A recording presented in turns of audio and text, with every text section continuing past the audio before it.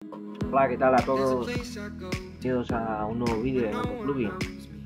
Eh, bueno, en esta ocasión pues he instalado un plugin de traducción, un plugin sencillo, gratis.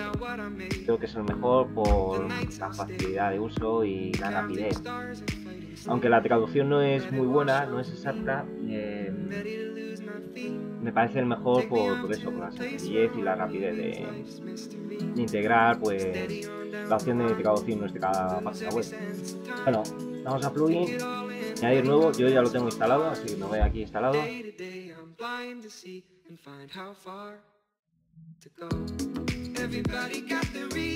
Y el plugin del que estoy hablando es Google Language Translator. Lo instalamos, activamos y bueno, nos aparecerá una opción, a ver si lo tengo por aquí.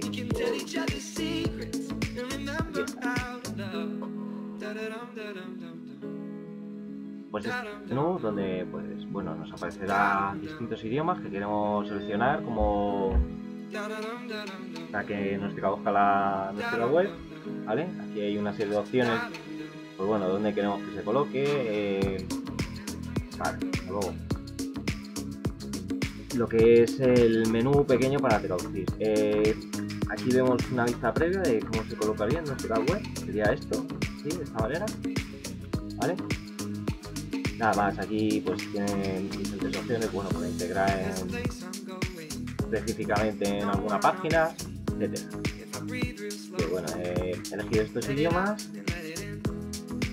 Luego aquí vemos cómo, cómo nos aparecería, ¿vale? Con banderita. nada, aquí pues seleccionamos que si aparecen las imágenes y nada.